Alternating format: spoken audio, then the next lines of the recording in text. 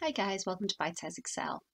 In this short video, we're going to take a quick look at undoing and redoing in Excel. In this example, we have a quick task list and we've started to add data.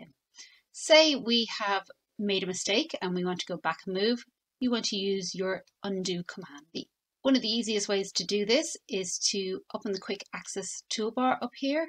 We can click on this little back arrow. So you undo one command.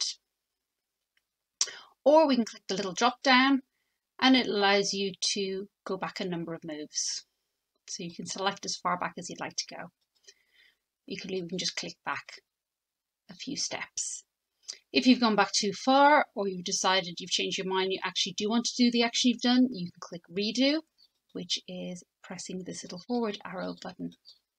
A couple of shortcuts to help you with undoing and redoing.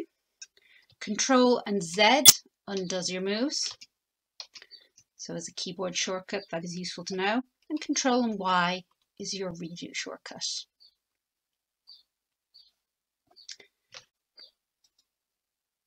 So that's just a quick introduction to undo and redo and the shortcut keys for it. So as I mentioned, you can either use your mouse and click on the arrows at the top or use the keyboard shortcuts Control and Z and Control and Y. Hope you found this very short video useful. Please leave a comment and I look forward to seeing you in the next video.